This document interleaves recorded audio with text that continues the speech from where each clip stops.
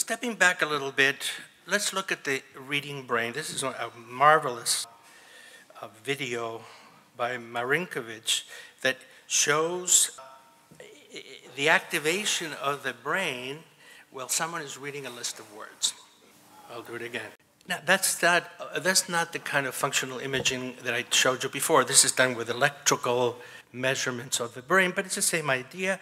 You know, the activity begins here in the visual cortex, which is where the image of the print first arrives in the brain through the visual system, but it quickly it goes forward to the anterior parts of the temporal lobe here, and it goes this way toward the phonological areas of the brain, and even the parts of the brain that recode, recode the heard phonemes into spoken phonemes so that the person can actually uh, uh, produce these phonemes when they're reading the reading list. Now, there is, in, in this particular activation, there isn't much participation of these parts of the brain which care more about meaning. So they, they, this is sort of a blind reading of a list of words. They could even be non-words or pseudo-words that have no meaning.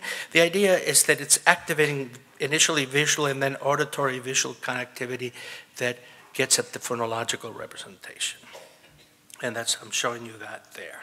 But what is reading? That's an adult reading.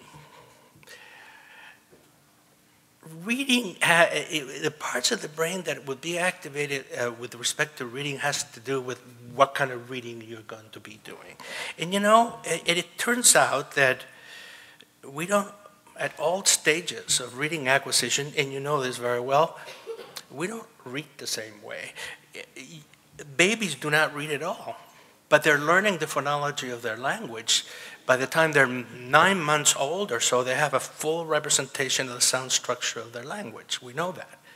Uh, mostly the work of Patricia Kuhl in Seattle. These phonological representations are going to be important for them to learn to read later on.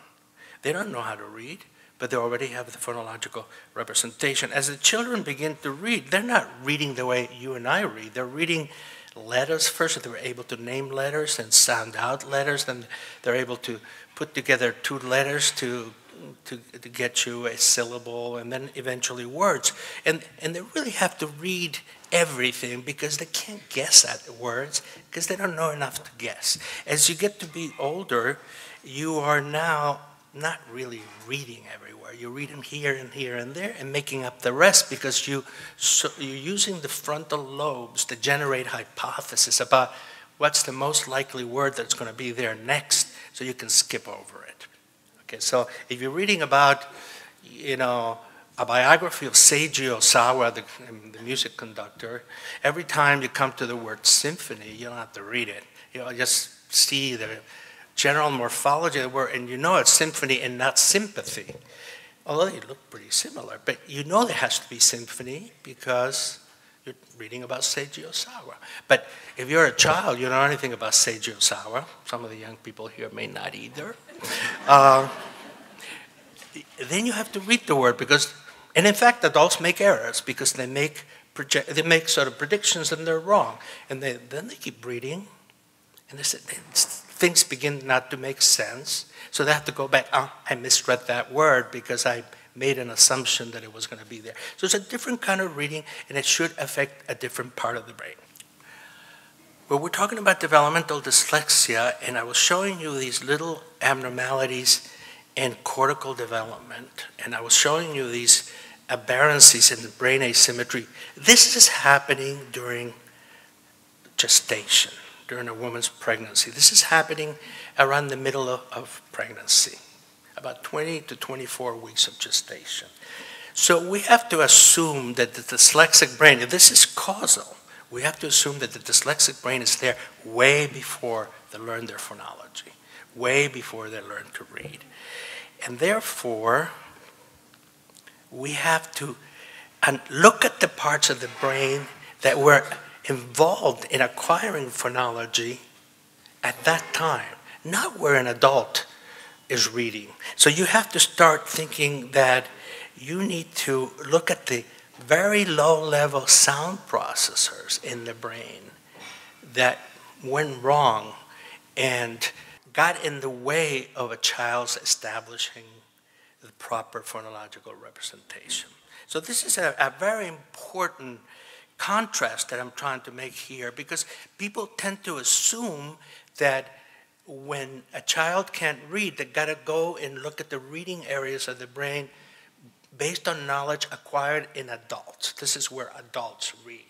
That's not necessarily where things are going to be wrong. They were wrong way before that. And maybe they didn't train those adult areas. The lower level systems where you learn have to train the higher level systems so that they know uh, to get to skip over and to guess. You have to have learned to read in the first place. So, uh, as I say, uh, more frontal uh, lobe areas are involved, and frontal lobe areas are the areas that have to do with executive function, attention, prediction, planning, those things that we use a lot as adults when we're reading. The children are not using those areas. They're training those areas, but they're not using those areas. They're using earlier areas trying to see what the shape of the letters are, how do they sound. You know, much, much more basic information coming in in the early stages of the auditory system.